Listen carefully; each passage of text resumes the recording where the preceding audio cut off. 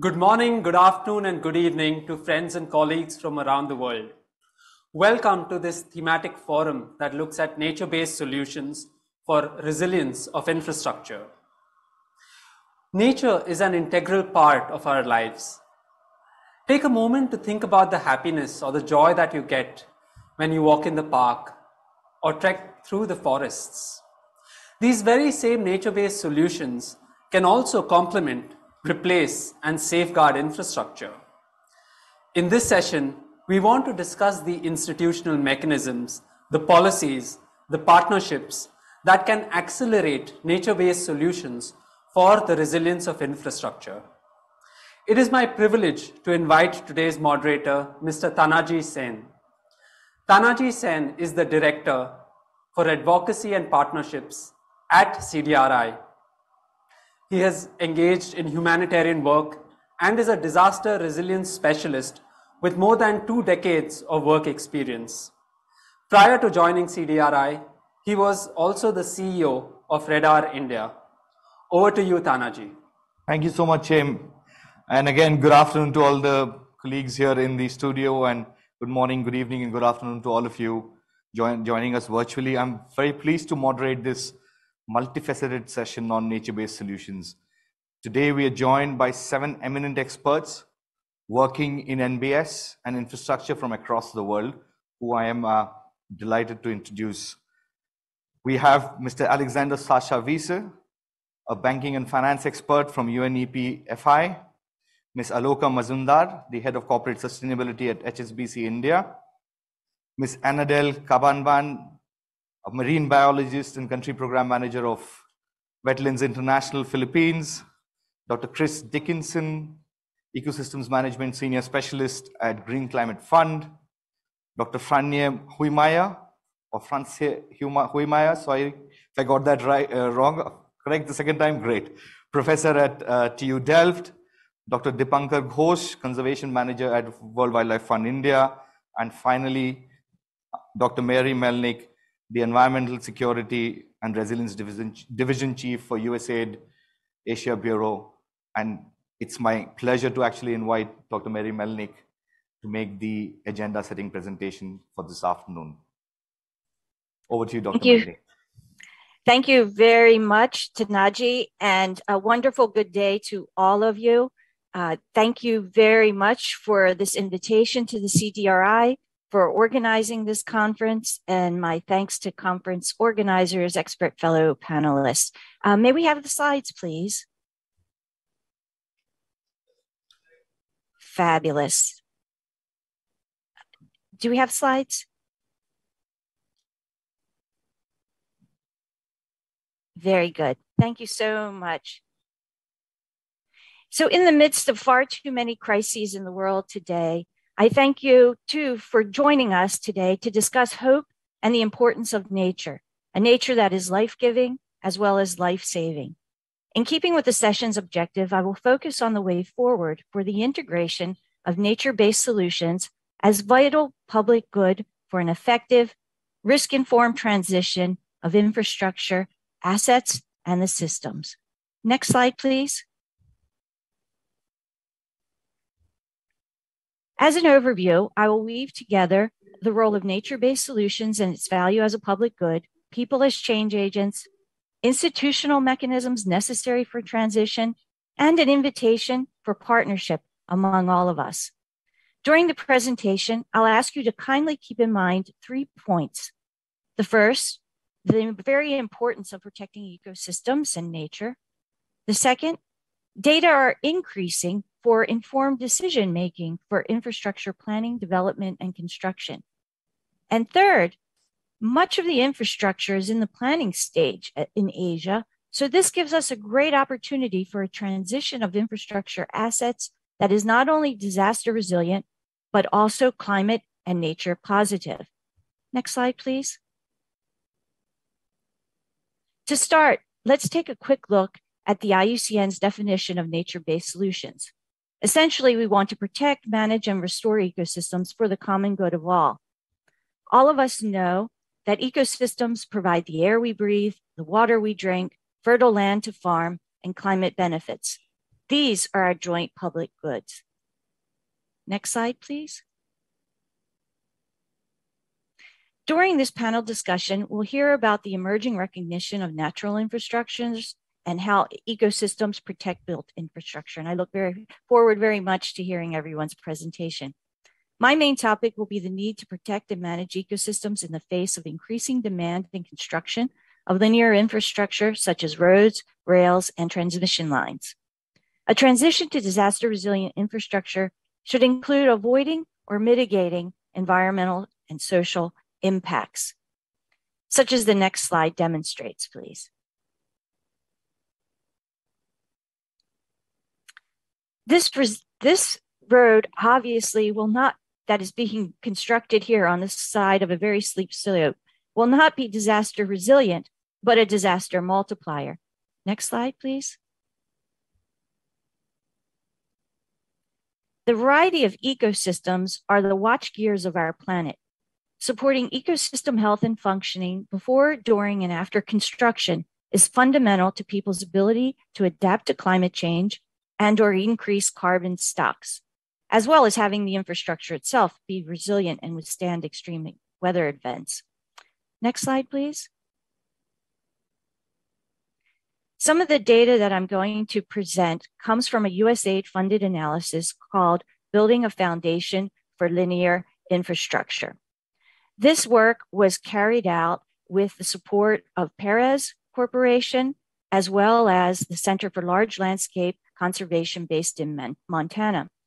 Further information, as well as a variety of training modules, can be found on the internet and we'll be very happy to share. Next slide. We're looking at a paved planet by 2050 with 25 million kilometers of new roads planned. Next slide. We're looking at projects in Asia alone of trillions and trillions of dollars. Next slide, please. Just for projects in Asia outside of India and China, and the LISA, the LISA project found that there is proposed more than 81,000 kilometers of linear infrastructure. Much of this will go through or near areas of high biodiversity and the few remaining relatively intact ecosystems of Asia. Please note that two thirds of these are new routes, with the rest being upgrades. This provides opportunities to transition to climate resilient and nature positive infrastructure. Next slide, please. Just as an example, I wanted to share with you data from the study led by Neil Carter along with others.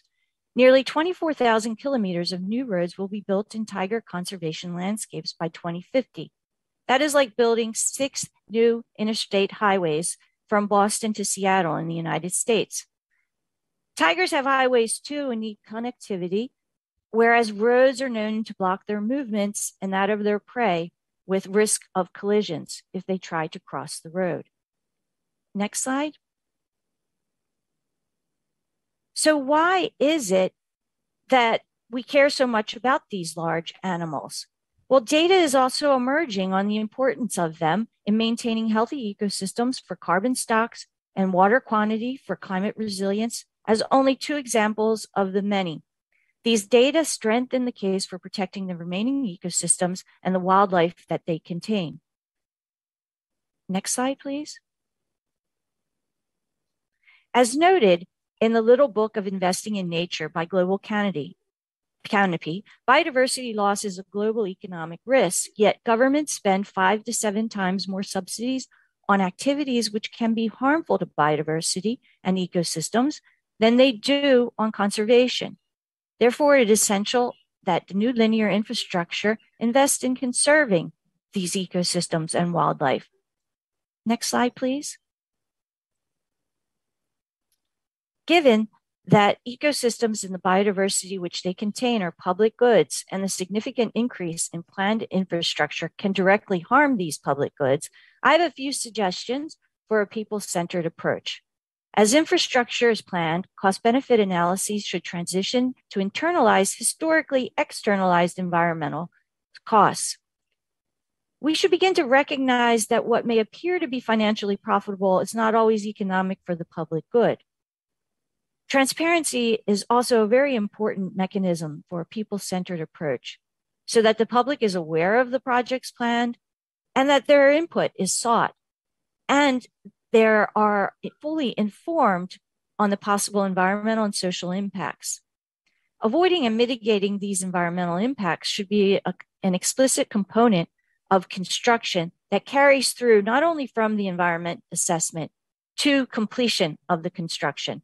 Regarding social impacts, equity should be considered as to who is benefiting and who bears the costs. Next slide, please. So there are a few key areas of work that I would suggest. We can do this by strengthening legal frameworks for safeguards and improving their implementations by government, the financial sector, and the construction industry. Next slide, please. Now, it gives me great pleasure today and here and now to announce that USAID will be working in these key areas with the World Wildlife Fund and the Center for Large Landscape Conservation through a new project called Asia's Linear Infrastructure Safeguarding Nature, known as ALIGN. Its objectives are to strengthen policies and practices, increase partnerships and engagement, and support the development of capacity for ecosystem and wildlife friendly infrastructure which will have added benefits for disaster resilience. Next slide, please. Align will be working in India, Nepal, Mongolia, and Asia at a regional level with government agencies at all levels, from national to local, the private sector, including finance, as noted previously, uh, construction, and civil society. And I, I, believe you will hear more about Align from my colleague Dipankar Ghosh of WWF India. Next slide, please. Partnerships. We welcome partnering with you to strengthen safeguards and increase their implementation for disaster resilient infrastructure. and climate positive infrastructure through the Align project. I also invite you to join USAID along with the Global Tiger Forum, the Global Snow Leopard and Ecosystem Protection Program, and UNDP to the next series of Big Cat dialogues in a few months to further discuss these issues. I would like to conclude by reminding us all of the importance of conserving ecosystems as a part of the transition to disaster resilient infrastructure, and that we have data that can contribute to these decisions. And we have the opportunity now, as much infrastructure is still in the planning stages. Thank you. Thank you so much, Mary, for your agenda setting presentation. And we have a round of claps from the audience. So very nice. Um, it, it was interesting how you brought out that for infrastructure development, we need to look at ecosystems health, both functioning before, during, and after construction. And it was also fascinating to see the projections of investments and their interface with ecosystems, the challenges that they pose, and the importance of forecasting um, what could be design solutions in consideration of biodiversity. Um, fascinatingly, what I saw is that how you drew it back to the regulatory frameworks um, and how they need to complement both environmental compliance and financial safeguards for investors. But importantly, the message was um, financial profitability needs to be balanced with public good. Um, so thank you so much and for drawing us back to what the session wants to focus on, which is that NBS is a means for people-centered resilience of infrastructure. Um, of course, the landscape of institutional mechanisms, policies, and standards is evolving. Um, and finally, that this is not just one person's job or one institution's job. It's, it's about partnerships and collaborations. And with that, I would be able to move to the next part of the presentation, which involves two case study presentations. Uh, we'll begin, begin with Dr. Chris Dickinson, who will be presenting from the Green Climate Fund.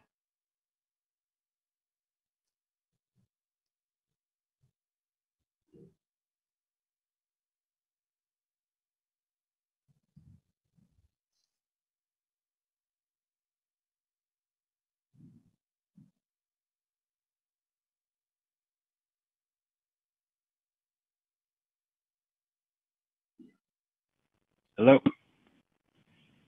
Hi, Chris. Can you hear me? Hi. We can hear you. Can you see my screen? Uh, yes, we can. It's now in the proper view mode. Okay, hello. So my name is Chris Dickinson, and I work as an ecosystems management specialist at the Green Climate Fund. I'm very happy to be here today to talk about uh, ecosystems. As uh, Mary said, um, very important for the fundamental well-being of the planet Earth and also for us as well. And as we face the three sort of big crises at the moment, whether it's climate change, uh, biodiversity extinction, or human health, ecosystems are fundamental for every part. And if we think about health, uh, I think um, one of the speakers mentioned also about mental health and well-being, COVID and zoonotic diseases, and also perhaps with um, heat waves. I think India now is going through a heat wave. Yeah, uh, trees in cities are very important for the cooling effect, which they can uh, um, um, undertake. So it's very important. And I think 49% of the world's GDP is dependent to a certain extent on uh, um, ecosystems and the services of nature. So if we have all these, if we all understand these fundamental issues, why aren't we investing more in ecosystems and nature? Why is this? Well, um, I think some of the reasons are that they're public goods. Uh, not it's hard to um, derive incomes from them. The ecosystems, uh, in traditional banking sense, um, perhaps the ecosystem service values and natural capital, even though it supports 49% of the world's GDP, is often not quantified by countries into monetary um, terms. So we have a number of different um, barriers, but uh, I'm glad to see that USAID um, and other organizations like the Green Climate Fund are prioritizing uh, ecosystems into how we deal with uh, climate change and also disasters as well. So I wanted to talk a little bit about the Green Climate Fund um, and what we're doing. So first of all, with the world's largest climate fund, we were set up following the Paris Agreement, and we aimed at supporting developing countries um, in terms of climate change adaptation and mitigation. Uh, so far, we've funded about $10.2 billion of finance, uh, um, which actually amounts to about 37 million if you include all the, um, the co-finance um, that also included. The 192 projects. It's about 48% adaptation, and 52% mitigation, and 70% of the funds have gone to the priority regions of the world, which is Africa, the least developed countries, and the SIDS. So we really are targeting uh, very climate vulnerable um, countries. And uh, India is also included. There are a number of um, um, direct access centers in India. I think there's two or three development banks that are accredited.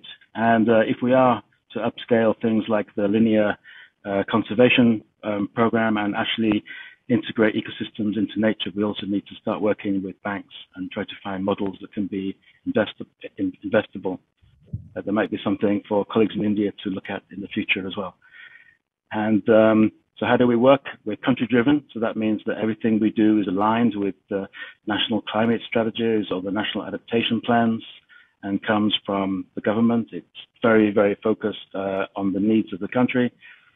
Uh, we work as a partnership organization. So there's over 200 accredited entities and hundreds of delivery partners and um, entities that we work through uh, in the countries we uh, work in. We've got a range of financial instruments, which include grants, loans, equity, and guarantees. So we're able to use quite a lot of different uh, instruments.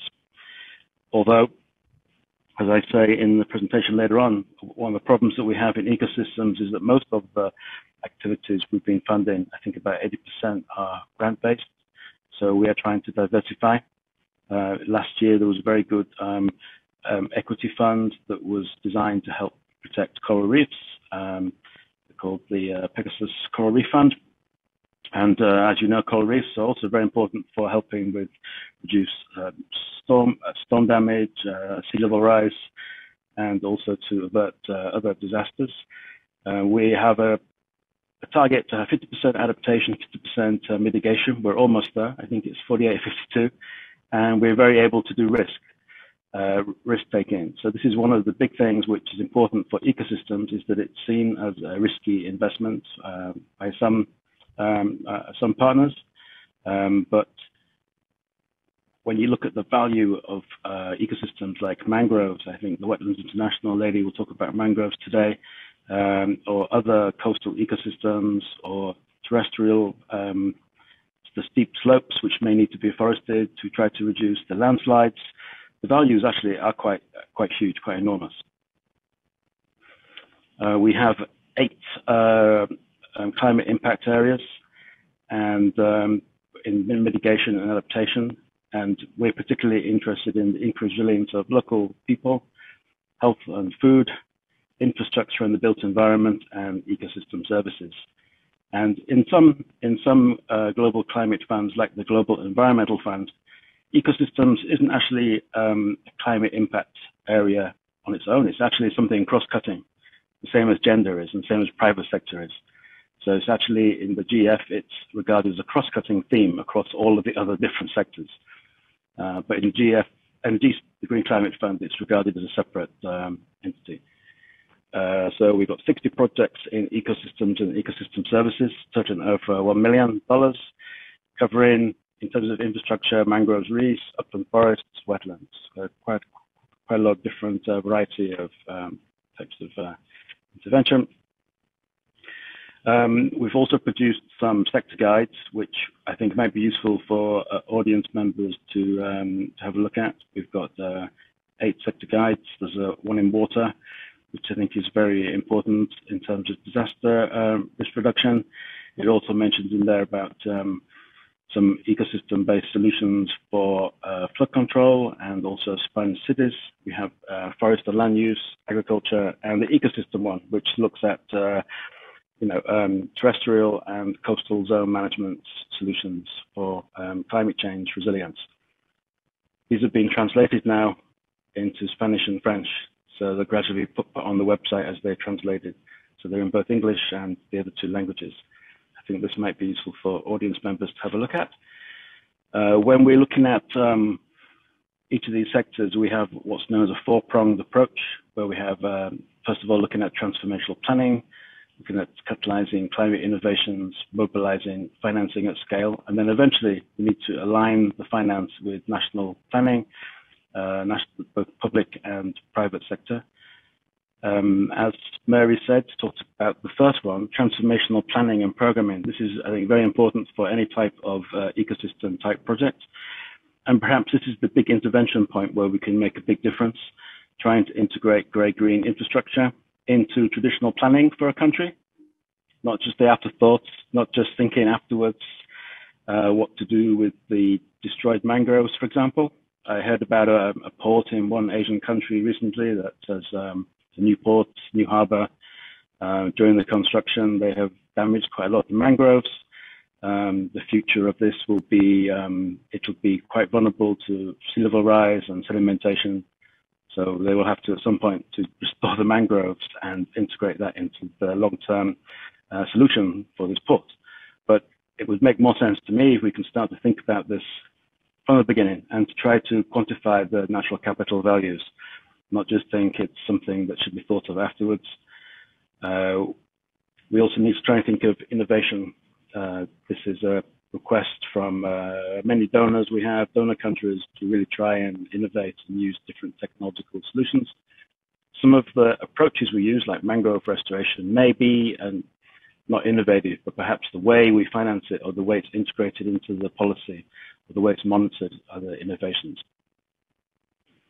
And looking at two sort of examples um, that I have today, one is um, a case study from from Gambia. It's uh, implemented by UNEP, and happy to see we have a, a, UNEP member on the on the panel today. This is a really good project. It's working in a country where it's they have 20% uh, of the country is subjected to annual floods. It's increasing with climate change. Um, it's causing a lot of problems for communities that live in these flood areas.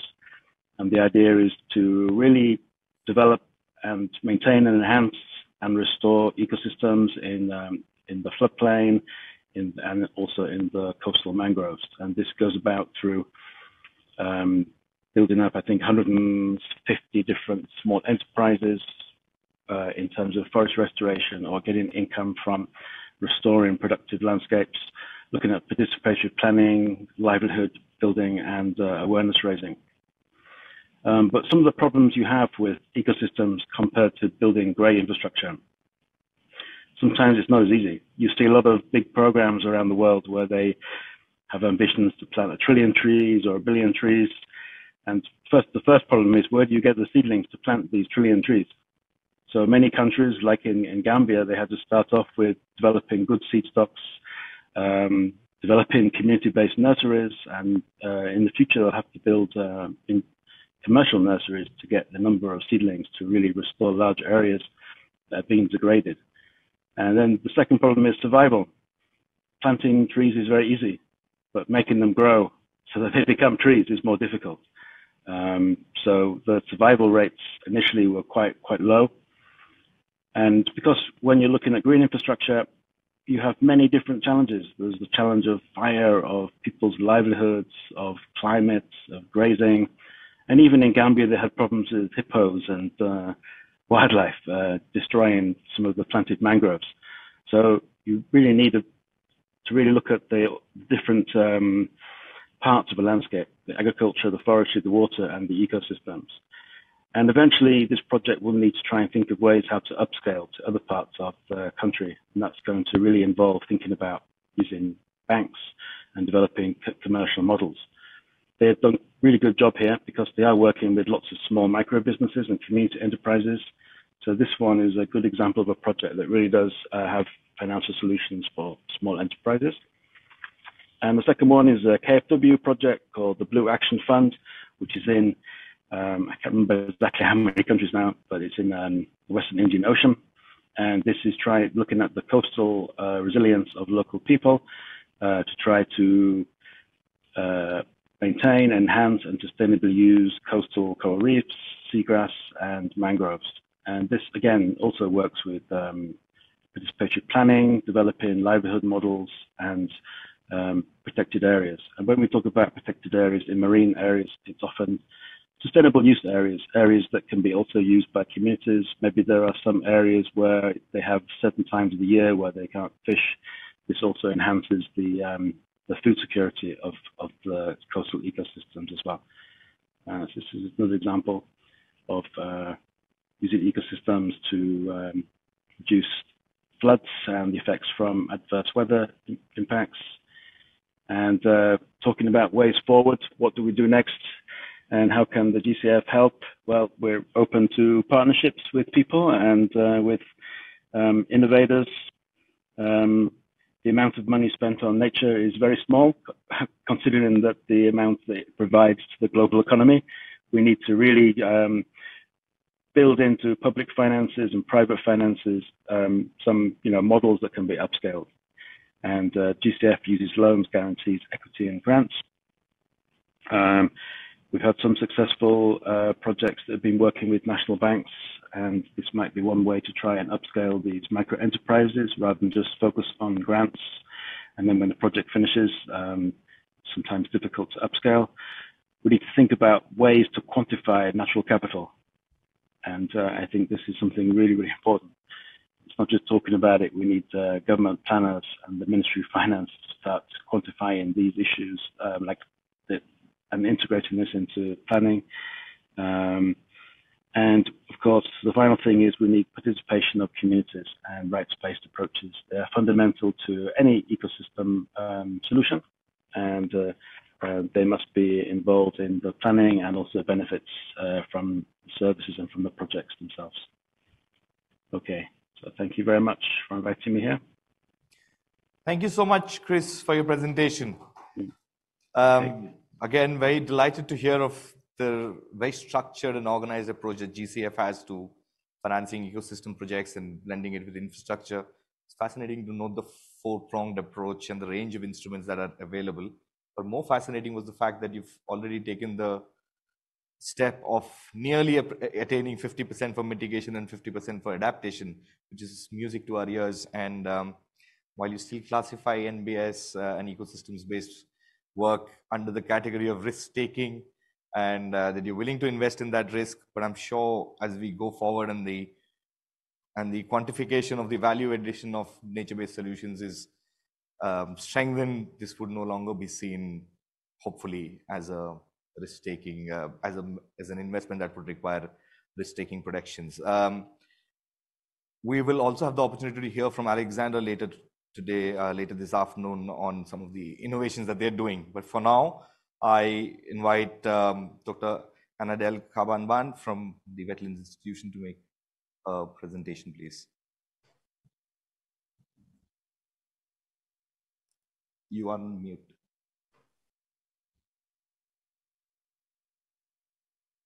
Dr. Annadel, you Yes. are on mute. I'll Yes, just share my screen. please. Uh, share screen.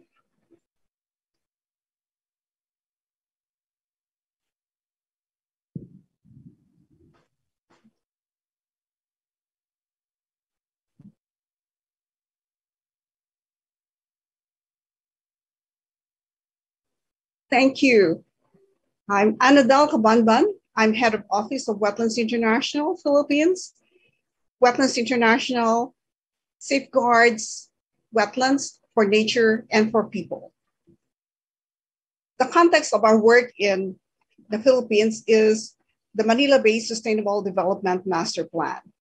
The north coast of Manila Bay is subsiding due to sub, sub, over extraction of groundwater for agriculture and domestic uses.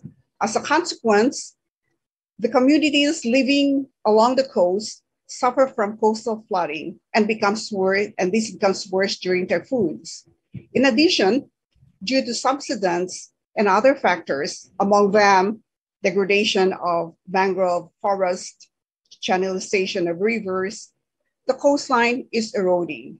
As such, in the Manila Bay Sustainable Development Master Plan, the priority measure is limited to the current uses for aquaculture and coastal fisheries, and the restoration of habitats under the Integrated Coastal Zone Management Framework. With this priority measure, the urbanized areas behind the zone of sustainable use and restoration will be protected. This, this line here, this yellow line here is um, the sort of uh, boundary between the zone of restoration, this along the seaward side, and the urbanized areas here behind the yellow line. With this priority measure, the urbanized areas behind the yellow line will become sustainable and the restoration will be uh, ensured and re, re contribute to the, the protection and resiliency of the urbanized areas to economic expansion and climate change impacts. The Wetlands International continues to support the realization of the goals, the objectives of the Manila Bay Sustainable Development Master Plan. Wetlands International focuses on the acceleration of the use of building with nature principles or approach to restore the coastal zone and build resilience in coastal cities in the north coast of Manila Bay. We have proposed and introduced this landscape approach to the various stakeholders, and they're very acceptable. The proposition includes nature-based solutions in the subzones within the coastline. From the seaward side, this blue line here is a breakwater or a permeable dam that will protect the shoreline from storm surges and erosion. Restoring a 100 meter belt of mangroves, this green subzone here. And behind this green subzone, this uh, orange uh, brown zone, subzone for the application of adjacent mangrove aquaculture. And this line here, the imaginary, the rough location of the inland earthen dike will be an, another protective area, another protective layer for the protection of these urbanized areas.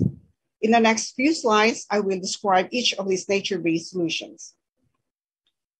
The permeable dam. The permeable dam is uh, made of branches of, of trees held together by glue, as you can see in this picture, and netting. It is built parallel to shore.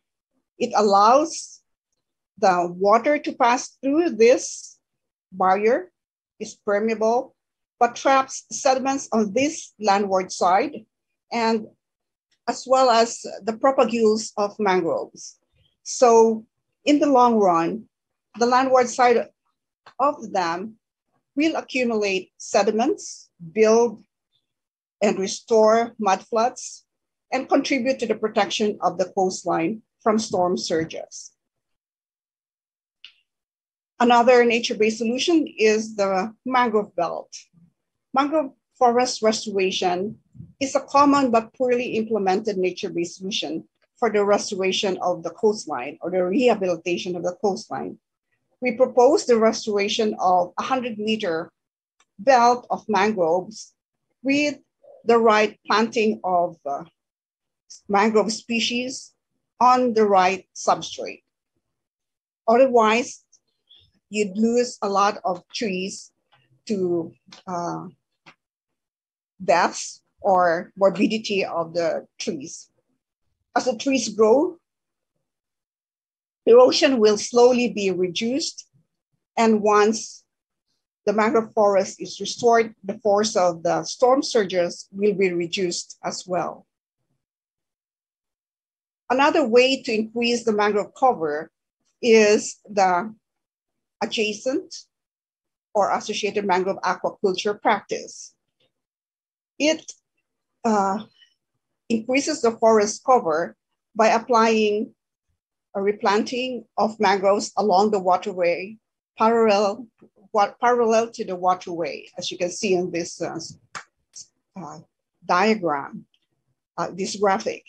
It, the, the mangrove that grows parallel to the waterway provides protection to the fish pond, clears water that enters the, the fish pond, and provide, provides prey items for the cultured species in the fish ponds. So it's a win-win solution for the fish farmer or the shrimp farmer, as well as conservationists who are interested in increasing mangrove forest cover.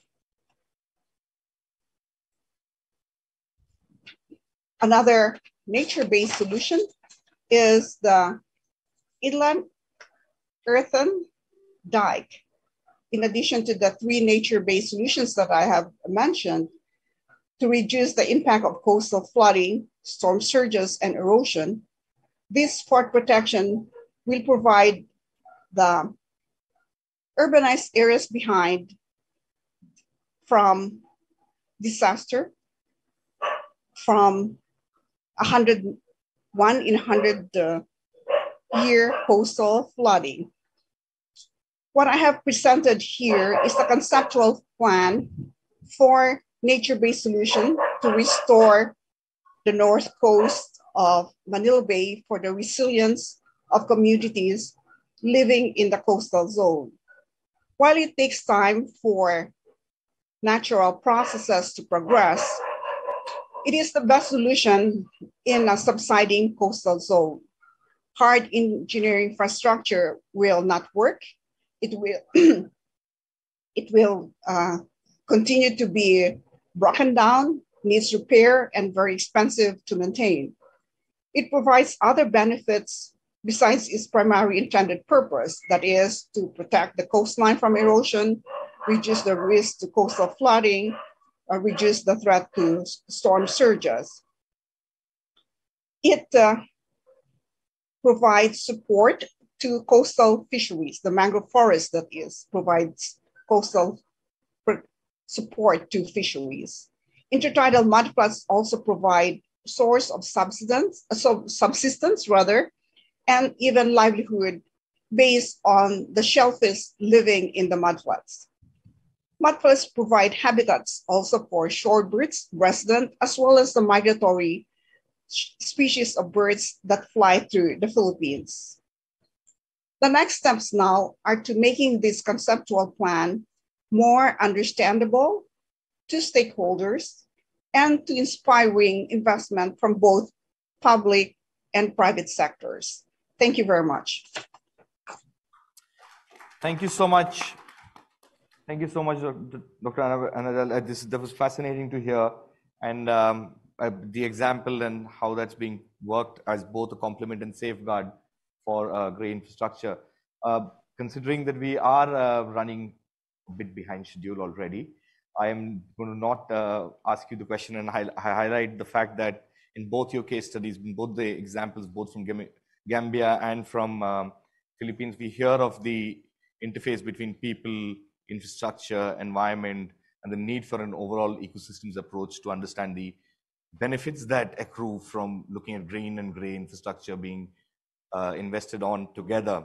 I'm going to move to the third part of the um, panel discussion and invite other panelists uh, in turn uh, to respond to some targeted questions. Uh, first and foremost, Dr. Huimaya, um, having heard the presentations and the fact that NBS is gaining considerable traction um, um, and there are national intentions and policies to bolster it, we've still not been able to transform it into targets and actions at a scale. So, what do you reckon uh, is required in, ter in terms of institutional mechanisms and policies and standards to change the narrative, or in other words, uh, strengthen the narrative and make it a mainstream option? Uh, thank you. Thank you so much also for inviting me uh, to this panel because I really enjoyed the, the, the, presentations of my colleagues here in the panel. And it also made me realize how important it is that you acknowledge that in the typical geographies, so how people um, over time uh, basically constructed their socio-economical systems on the landscape and how this natural system is giving and also taking uh, when it's vulnerable. I especially realized this coming from the Netherlands. I think you all have to really uh, understand that we are um, a very tiny country uh, fighting against water for centuries already, and therefore uh, also very, very um, re- reliant on uh, infrastructure at the moment. Uh, protecting dikes and other systems. So you have to know that our uh, relationship between uh, well the humans and the nature is a very strange one we you could consider that dutch people have no idea what nature is basically because we yeah we've been reconstructed reconstructing it over centuries now. So this this attitude is of course very much um, uh, um, say these these typical geographies all over the world are all, all also shaping the policies and and the institutions and the way you work. So coming from the netherlands i can i can say that uh, for us including nature based solutions in for example our uh, protective uh, infrastructure is very difficult and it will take still decades i think to be able to do this because yeah, there's this very uh, well, there's there's investment wise a very high uh, uh, uh, dependency on this. So we are well, we're now in the middle of proposing a redesigning deltas project to also see how uh, can you include yeah we have to include this natural uh, system again in the way we live in this country, but yeah, how can we get nature back? So how can you really uh, so I, I, was very interested because the first presentation was about the recovery of ecosystems, uh, of conserving of ecosystems and sort of reliving them. But there are also situations in the world where the ecosystems have really been lost. And you really need to think about how can they be recovered again. And this really means another way of, uh, of policies and planning where you really try to, uh, to well, first make a decision how can we do things naturally and then uh, technically. Um, so to your question, what it needs uh, institutional, I would say that uh, that it's yeah, it it it really is a, a paradigm change where uh, people who make the policy are policies are are willing also to rely on other type of specialists on other type of data on other type of performances also of the infrastructure. And um, yeah in that sense uh, i think there well the presentations also showed a lot of uh, uh, uh, chances for this. And if you only talk about say infrastructure in in the cities you can see that the changing uh, uh, infra- so the changing mobility is for example also a chance to do things differently so i think that's yeah that that what you say that that, that it's that the the trust and the and the and the and the um, say the the to to dare to do things differently is holding back at the moment to really include this. So, but I can see that there are many uh, yeah ways to slowly transfer, and I think the most important advice is to really stay close to say the tradition in your specific country and really try to change this from inside out instead of adding new things. But basically yeah trying to invite the best specialists and from inside out change policies and institutions uh, towards this uh, target. Thank you.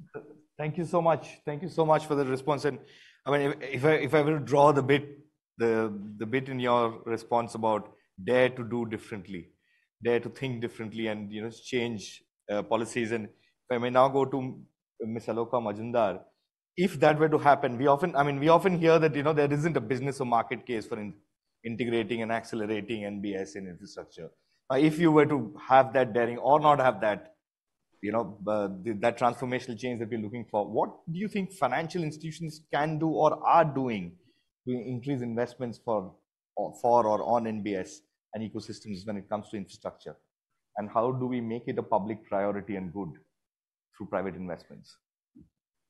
Thank you. Thank you, Mr. Sen. Uh, I think with your permission, I'll just take a step back because, you know, we often uh, get asked these questions quite a bit in terms of, you know, why are financial institutions interested in it?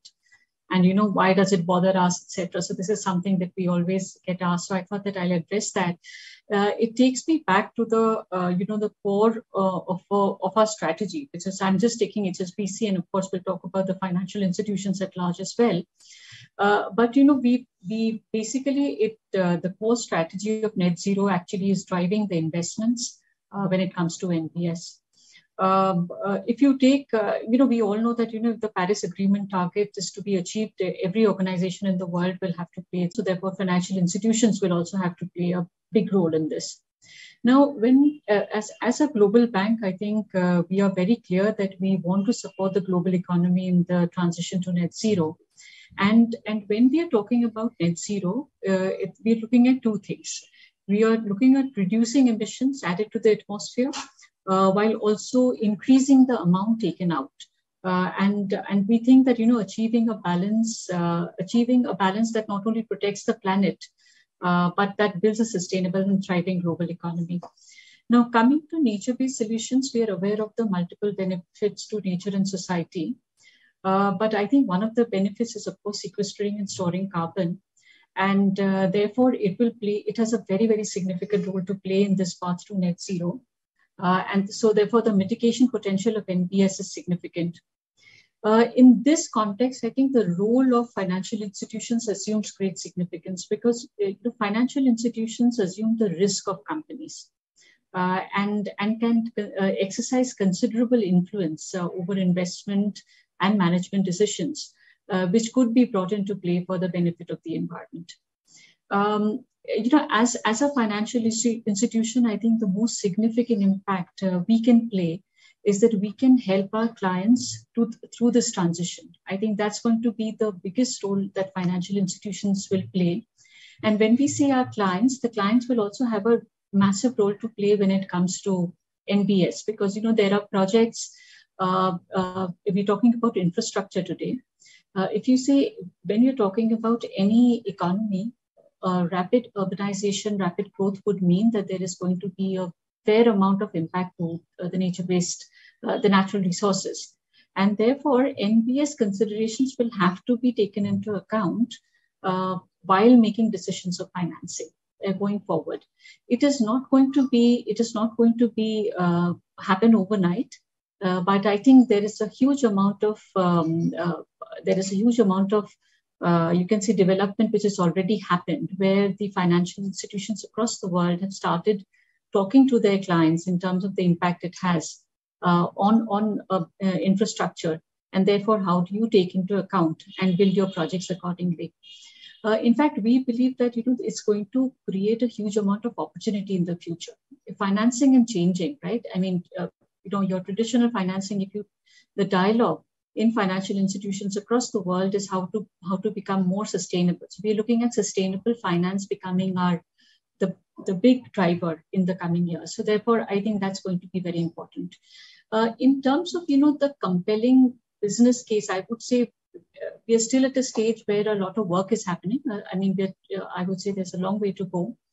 But I think two, three things I just wanted to highlight. One is, of course, addressing and assessing risks is going to be very, very important.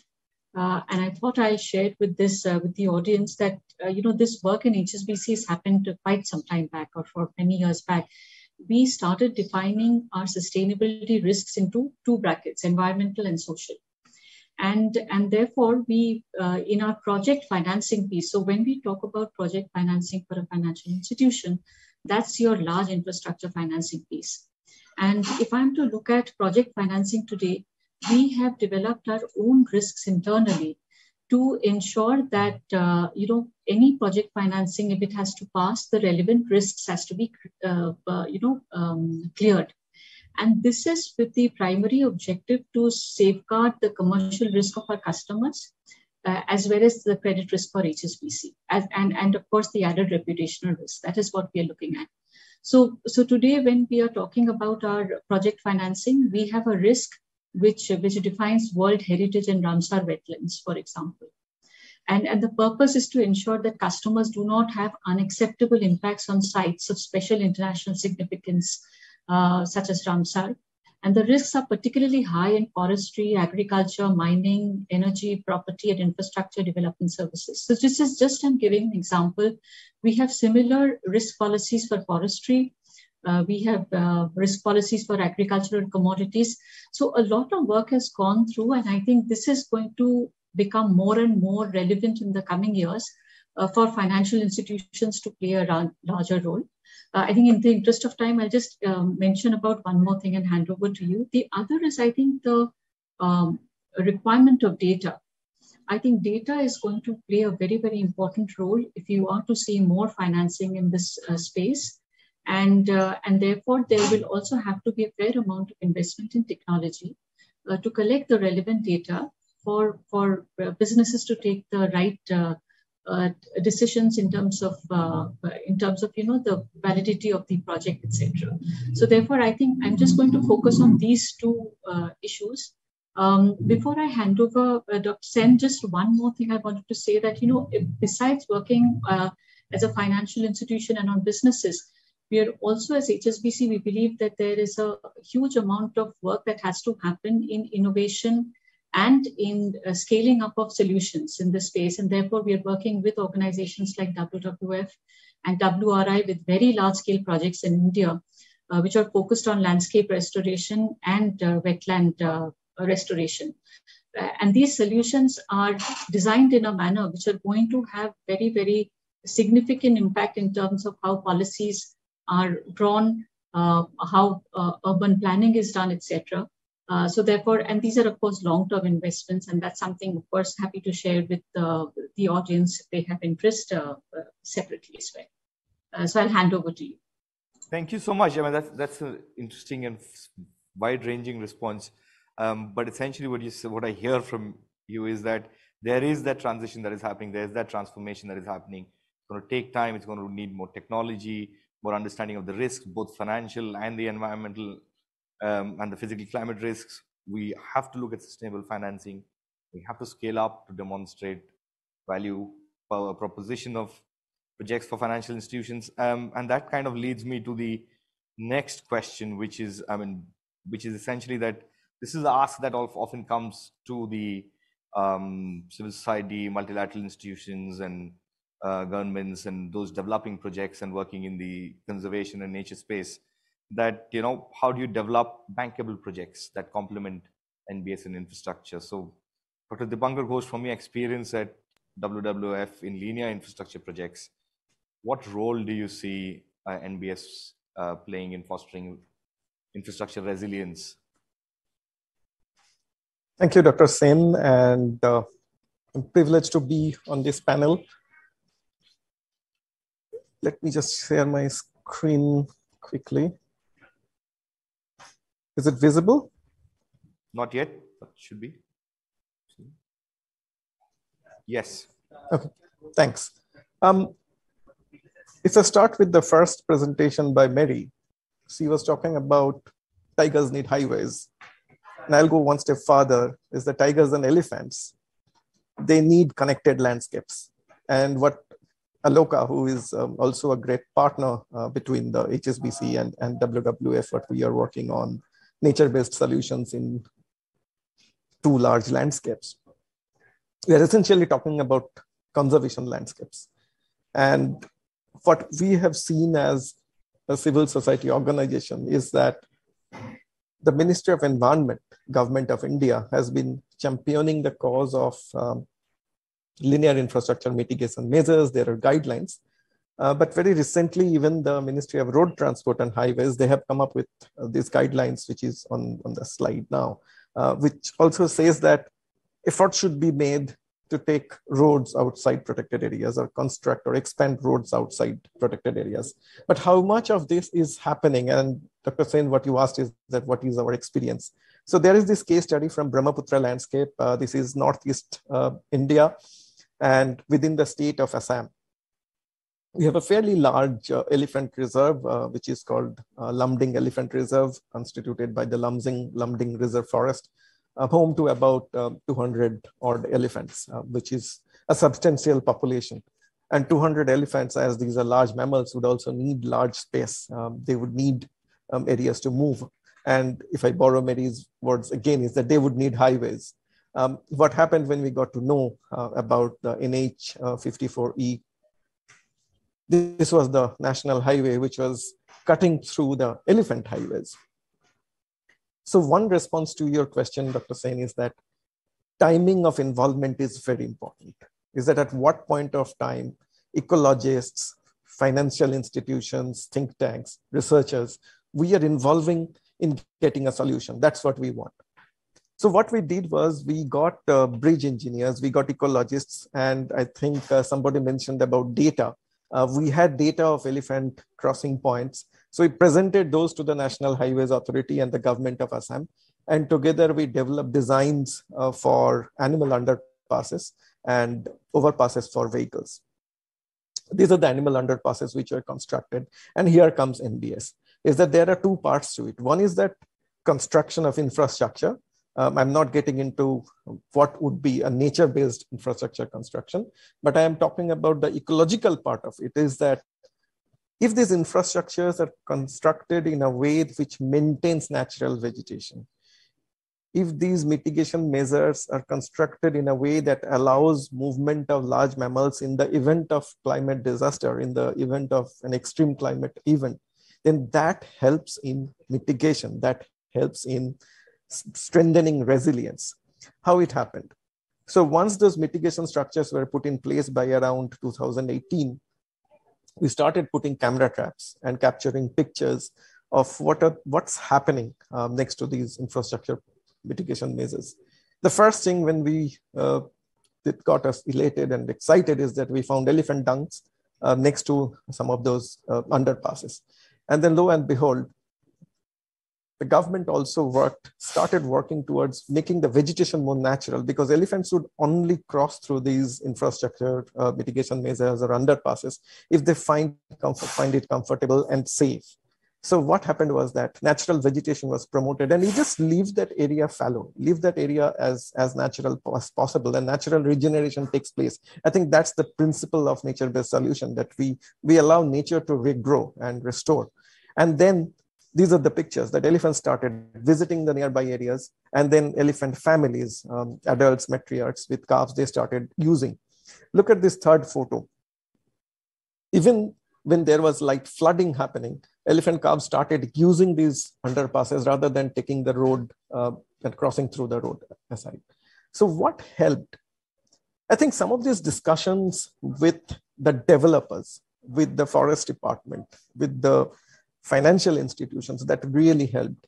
There were visits happening by NHAI engineers and people from the finance department were also there, where we suggested that let us funnel, let us create passages, safe passages for elephants so that they are not crossing through the road, they're using these underpasses. So I think that's what is most important. If we want to bring more functional connectivity, And if we want to maintain connectivity within these large landscapes, and especially from the context of India or any uh, Southeast Asian nation where large landscapes are uh, the, I would say, the flagpoles for conservation, this is something that we need to work on. And my last point would be what worked here is that timely intervention, that we tried to intervene at a critical point of time, whether it is de-risking financial uh, involvement or, or, whether this is about um, bringing in nature-based solutions at a critical point when construction is just starting, everything kind of boils down to the time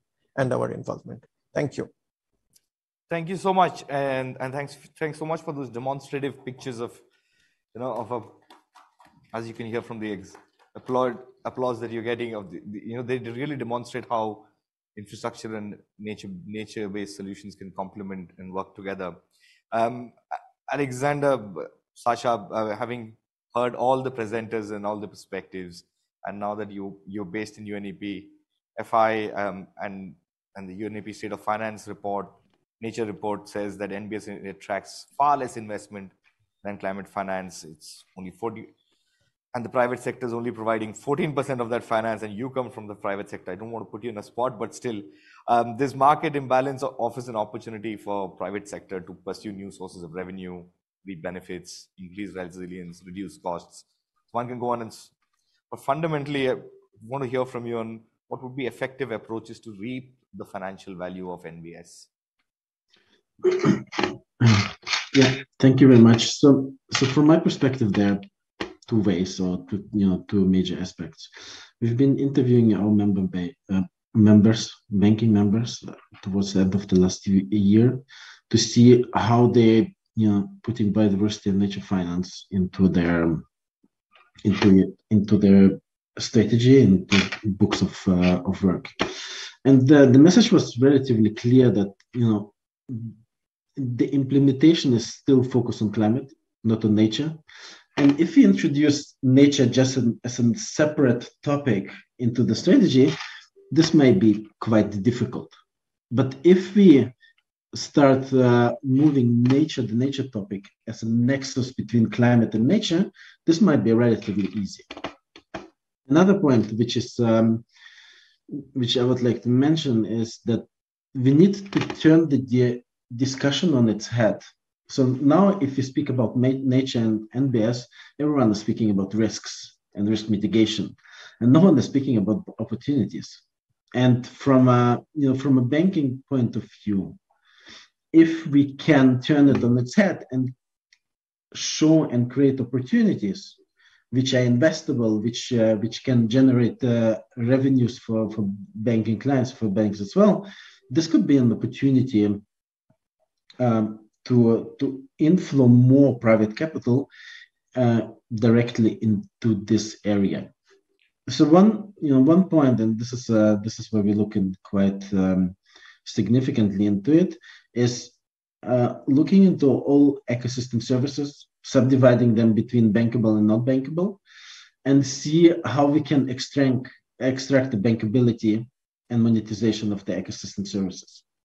And this is quite a major point. So, you know, sometimes it's relatively simple. So if we can move, for example, for just pure carbon credits into uh, something which is, uh, let's call them uh, enhanced or premium carbon credits, which incorporate biodiversity and nature-related uh, aspects, this could be a, like the first step to move the needle towards uh, financing uh, nature-based solutions from the private sector.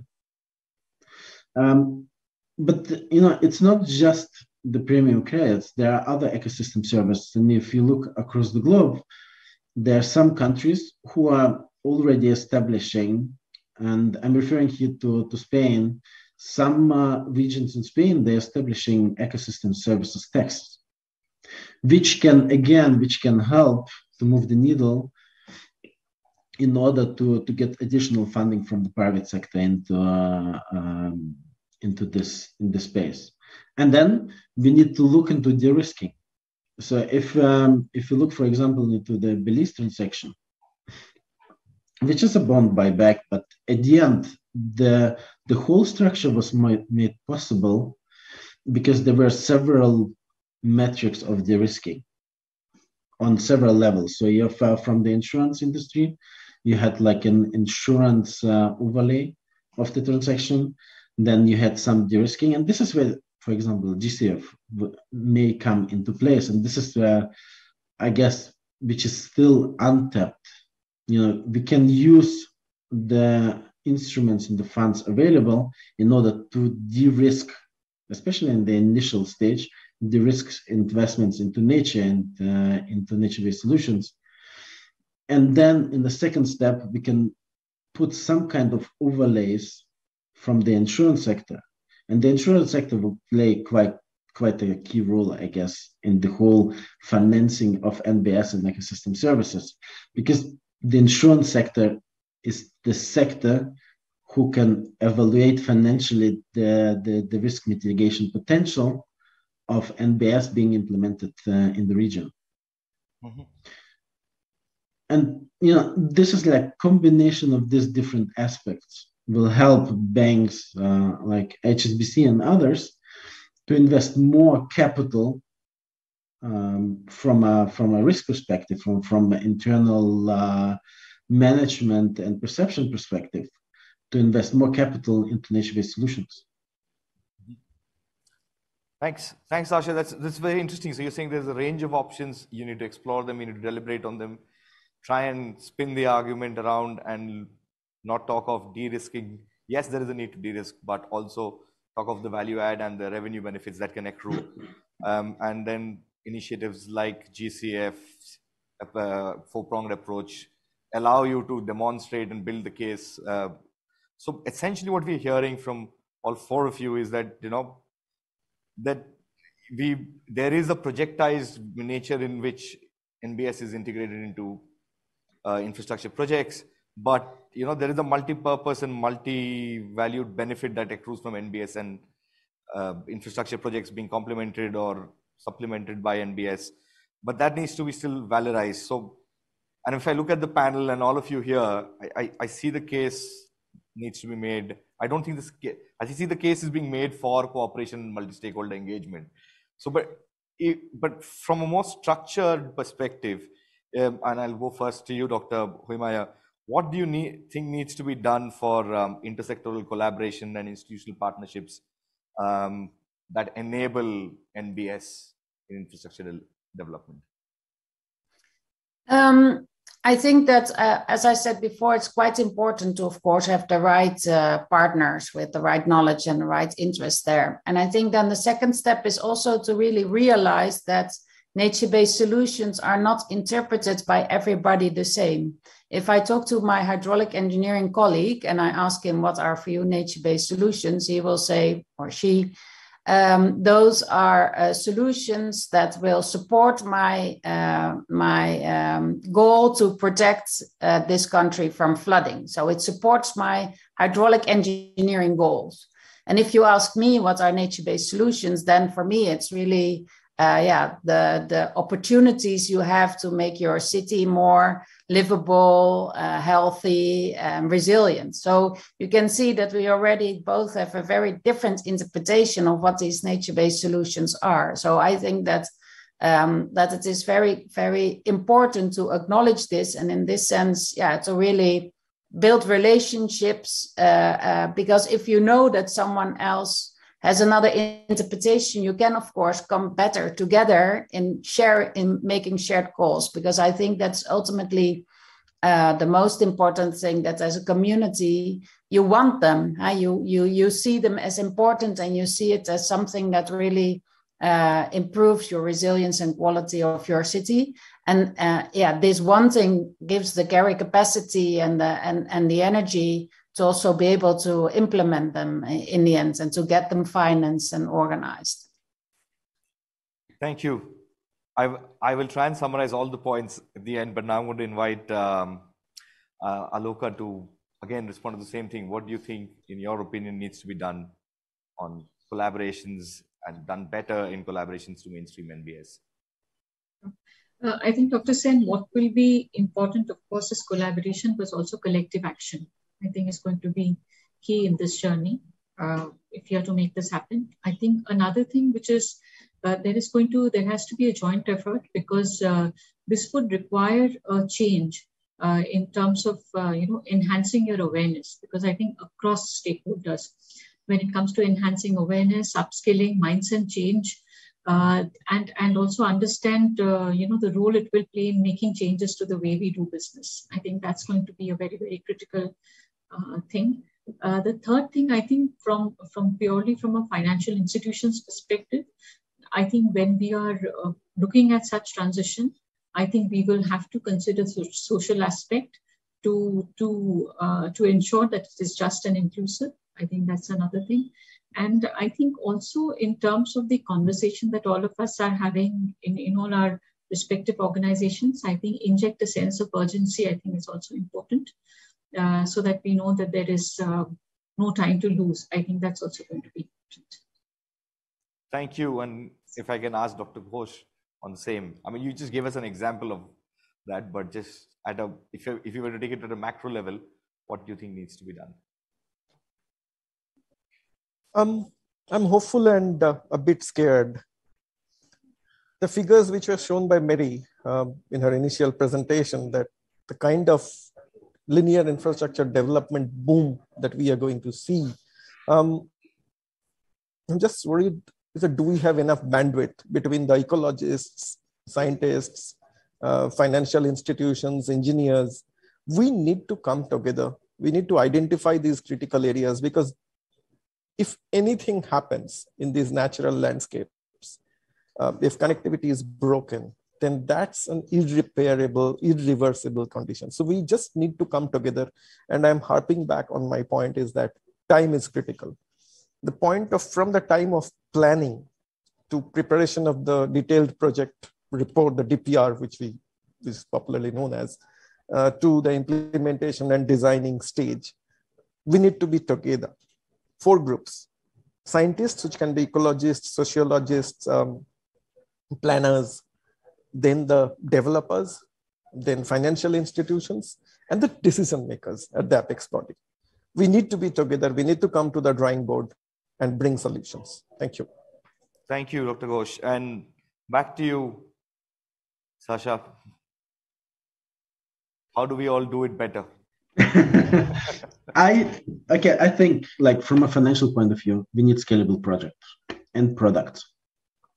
So if you look, for example, there's there's certain examples which are already working quite well. So if you look, for example, there on the Rhino bond, this is something which can be replicated in different areas with different outcome pairs across the globe. We don't need just to focus on, on Rhino bonds. We can expand it to other species. We can expand it to other projects. And we can um, have um, a really great um, influence with this product, products. And then if you look on, on, the, on the sovereign level, so for example, if you take the, the recent example of uh, Chile's um, sustainability linked bond, which was linked to climate, and if we link it not just to climate, but we link it to uh, um, to nature, nature-based uh, outcomes, this could be an additional, like another product innovation, which could work quite valid, which is scalable. And from a product perspective, this is something you know, from a bank, which is kind of a standard product, slightly enhanced by additional feature, but that instruments are standard. But we need to work collaboratively, and this is, you know, I think we have all the stakeholders here. We need to work on the MRV process. So measurement, reporting, and verification on the ground is hugely important and this is where we're lacking, uh, especially on um, in, in in this bigger financial products. So if you look into climate, it's easy. You, you look into greenhouse gas emissions, you, you measure them on different levels, and it's relatively easy. But if you start to look into uh, nature-based solutions, nature biodiversity, then the complexity, there's like additional level of complexity. And um, I think there needs a strong, a strong collaboration between uh, organizations yeah, like UNEP, um, universities uh, like TU, Delft, startups which are operating in uh, in in these areas, and of course uh, WWF and others who are looking into it on the ground and can say, okay, this is robust metrics or not. Mm-hmm. And this is what, what we're missing right now. And and at the end, there's a, this there's there are a number of projects and products which can be implemented so far. So if even if you look into the Belize transaction and others, so debt for nature swaps are becoming a product which is quite uh, quite advanced right now and which can be implemented by different countries in order to uh, to, to make the, the, the cash flow or the, the, the, financial flow from global north to global south and help with the twin crisis of, um, of credit and uh, credit worthiness and nature uh, nature problems. And this is, yeah, I think this is, these are possibilities which we need to, to further explore and to create um, mainstream projects, uh, mainstream products out of it. So banks like HSBC and others, you know, for them it will be become something like business as usual, like issuing a vanilla bond, which no one so you know it's it's easy for, and it's not just the issuing the bond. That you know, within the bank there's a there's a huge operation and uh, admin system, like from a risk compliance. Uh, legal perspective, which should be executed uh, in, a, in a simple and streamlined manner. And this is only possible if we have robust products, if we have robust frameworks and principles, and if we have a robust M- MRV system. Thanks. Thank you so much, uh, Mr. Visa. That's that's very interesting. So um, I've heard different perspectives here, and I'm going to go to Dr. Mary uh, Melnick, go back to her now to give her reflections on the session and the deliberations um, for a couple of minutes. But I mean, it's interesting to see that all of us are basically saying there is a need for collective action. There is a sense of urgency that has already crept in. We need to be able to upscale, but we need the right metrics to be able to provide the right products and financing solutions. And of course, different people have diverse interests and interpretations of what this is what NBS is. Um, so bringing it all together is important. And um, at the end, we're looking at all the core benefits that can accrue by working together. So with that, I hand back to Dr. Mary Melnick uh, for your reflections on the session. A um, couple of minutes to three minutes, and then we can come back to the entire panel for their final thoughts. Over to you, Dr. Melnick. Thank you very much, Dr. Sen. And, and, likewise, I'd like to reiterate some of the points that you made just now and everyone else has made that sense of urgency, the need for the recognition of the, the multiple benefits as well. I, I think what's really um, very good about this session and the synergies is that we're discussing all of the options and opportunities in financing, as well as the fact that the banking sector is paying attention. And in fact, there was a Bloomberg article yesterday about the boom in environmental, uh, social, and governance funding. So we do have vast opportunity.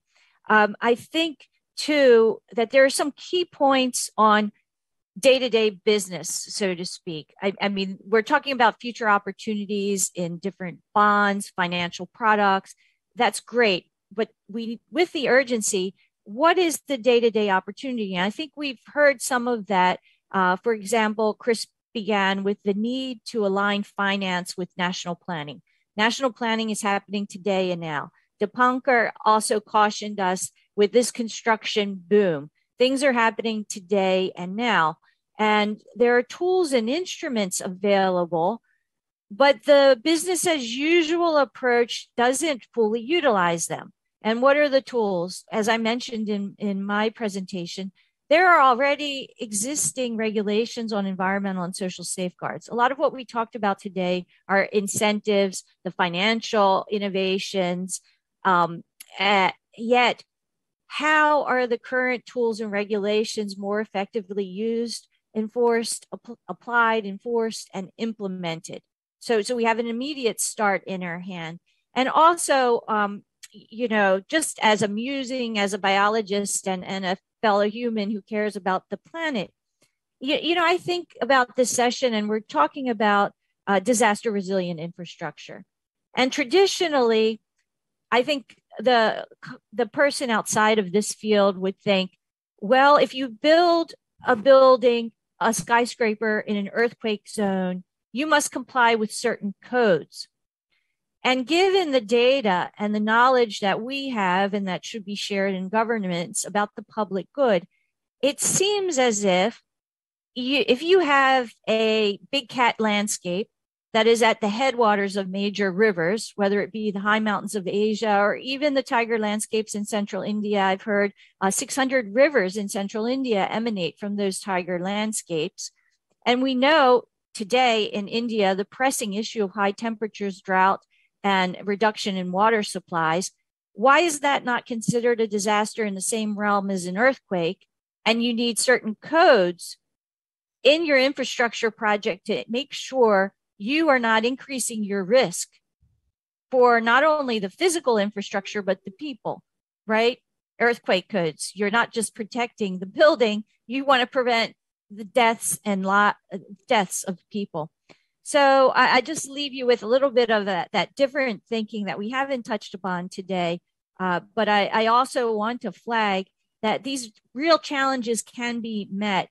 Um, Annadel, your, your plans for Manila Bay are, are tremendous.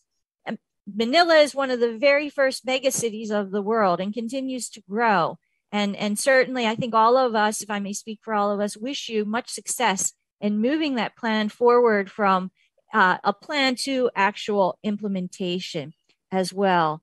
And, and, and this too will require how we uh, change our own attitudes in valuing ecosystems and how we do business that environmental and social impact analyses are not just pieces of paper but that they are read and continued to, to, to be used throughout the project and that we begin to build these wonderful partnerships um, with civil engineers and ecologists and and hopefully in future uh, you know i look forward to bringing together these different constituencies and that construction managers and banks count the number of civil engineers in that budget the same as they count the number of ecologists and the cost for camera traps within the budget and not outside the budget and that this is a cost of doing business. So with that i'll, I'll just uh, leave you with uh, my great thanks for this extraordinary session and i look forward to continue to working with those on the panel as well as in the audience thank you thank you dr Melik. Um, we have one audience question here and thanks very much for your thoughts. I would have loved to paraphrase that in a sentence, but we are out. We've got two audience questions here, so I'm going to take those two questions. We have we've got eight minutes left in the session, um, and uh, we'll try and wrap this up in the next 10, 12 minutes, so that we not over don't overshoot. Over to you. Thank you. Thank you very much. My name is John Carstensen. I'm from Mott MacDonald, an international engineering company that actually delivers um, nature-based solutions to private and public sector uh, clients. I think also very much based on, on the, the last comment here, that we need to be clearer about the offer. Um, because we say we have a nature-based solution, uh, we actually do not spend enough time on saying what is the problem we're trying to solve. It's a nature-based solution to, to something not just if we go out to private sector clients and say, we've got a great solution for you, uh, they will say, we would like you to hear what the problem is that we are trying to deal with. That means that we need to spend much more effort on clearly understanding what the value added is of individual nature based solutions. What are they good for? What can they achieve how do they compare to each other? And we have actually developed that kind of decision making framework for our clients both public sector um, and, and private sector clients. Uh, so I, I think that that part about actually understanding the commercial value is really really important in uh, in this process. So we can come out and say, here is like, what is your problem?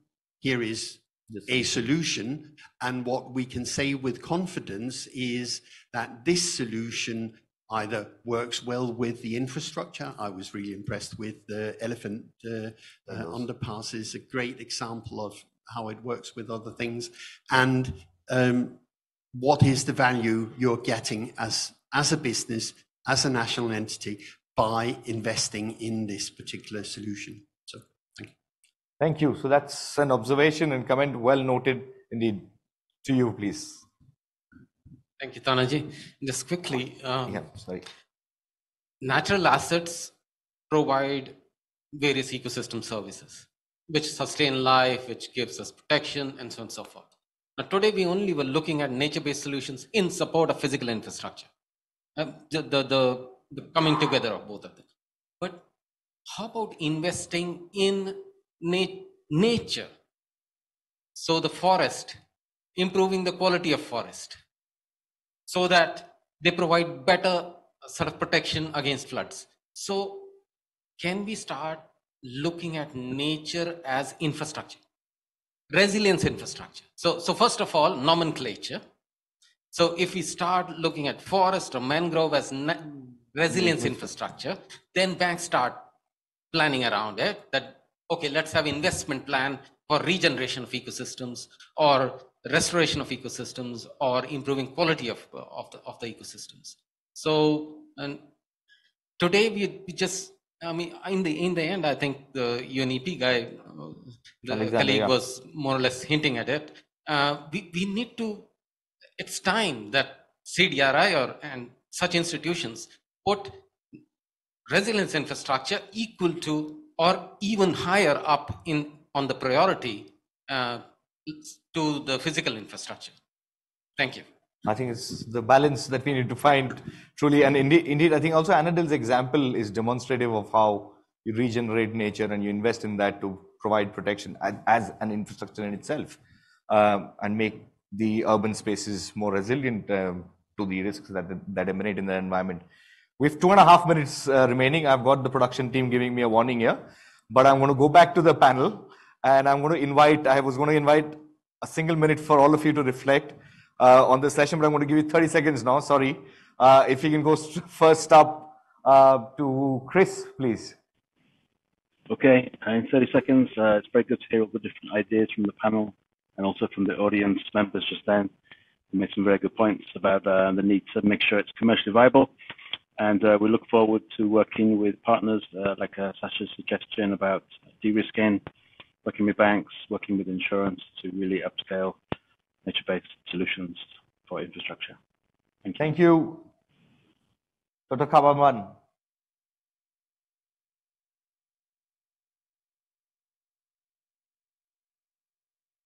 You're still on mute.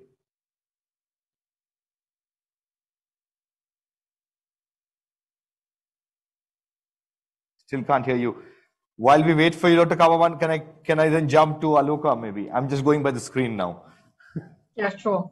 Uh, so, Dr. Sen, I think I, my only thing is after hearing everyone is that there is some optimistic about this thing. I think, you know, the, what we did with energy many years back, uh, we've seen that how this has now become pretty mainstream. And I think NBS is something the everybody is understanding. I think, of course, there has to be more dialogue, more uh, collaboration and collective action, as we spoke about. Uh, but I think it, it is more an imperative and, and from a financial institutions perspective, I think there will be various kind of finances available, will have to be made available for NBS related solutions. Uh, and, uh, and I'm quite sure that this is going to uh, gain a lot of traction because this is more an imperative today. And, and, uh, and we also spoke about to inject the sense of urgency, and that's something I guess stakeholders like all of us will get together to uh, start that. Great. Thank you. Thank you. If I can invite Dr. Huimaya now, please. Uh, yes, thank you. Um, I um, maybe also wanted to respond to the two nice uh, um, uh, comments from the audience because I absolutely agree that uh, nature-based solutions also already sounds like you already have something and you're finding the problem, Um uh, and um, which I think is also almost an engineering approach, but. Uh, I would say that the urgency of the problem is uh, very clear the three the climate, the biodiversity, and the health issue. That's why uh, we've been uh, experimenting and also coining the term ecosystem participation. So, as a more overall uh, setting the goal for a collaborative group where we say, well, instead of looking at nature, what it can do for us, we need to turn around and think, what can we do for nature? Because that will be then the most resilient way to uh, collaborate and participate with these uh, animals, plants that make us happy and healthy. Thank you very much. Thank you, Dr. Himaya. Um, I'll go to Sasha first because we've been going to him always last. So, Sasha, back to you, and then I'll come to Dr. Ghosh and then Annadel. No worries, no worries. I'm uh, I'm okay being last. so this was a great panel. I have to say they had like all the all the aspects and all the views from different uh, stakeholders. So my key takeaway is we need to collaborate more. We need clear guidance and clear frameworks and clear understanding among the different players in the market. So everyone speaking about uh, someone speaking about the nature-based solutions needs to have the same understanding across the different industries and, and sectors. And if we work collaboratively, then we can achieve. And I'll Thank stop you. here. Thank you. Dr. Ghosh? Thank you. Um, two things. We need a multi-sectoral approach to address the problem that nature conservation is facing today. Finance is not the problem. Engineering solutions are not a problem. Nature-based solutions are not a problem. Those are there.